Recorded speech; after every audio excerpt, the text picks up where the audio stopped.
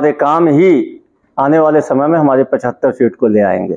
पिछले पौने पाँच साल में जो हमारी सरकार ने काम किया है, जो हमारी सरकार ने वायदों को पूरा किया है, यही नहीं, राजनीतिक दलों के घोषणा पत्र पे भरोसा रखने का जो विश्वास हमारी सरकार ने बनाया है, उसके कारण हमारी पचहत्तर सीटें आएगी। नहीं तो घोषणा तो भारतीय जनता पार्टी ने भी किया था, मोदी जी ने दो करोड़ युवाओं को रोज़गार देने का ठेंगा दिखा दिया, किसानों का आय दुगनी करने का कुछ भी नहीं हुआ।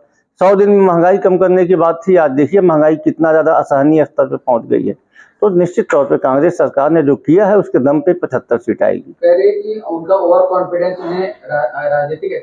है अब राजनीतिक रूप से अपरिपक्व हैं मनोज तिवारी। अभी उन्हें और राजनीति सीखना है।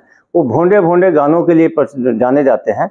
भोंडे और अभद्र गानों के कारण उनकी पहचान है। राजनीतिक रूप में उनकी परिपक्वता अभी नहीं आई है।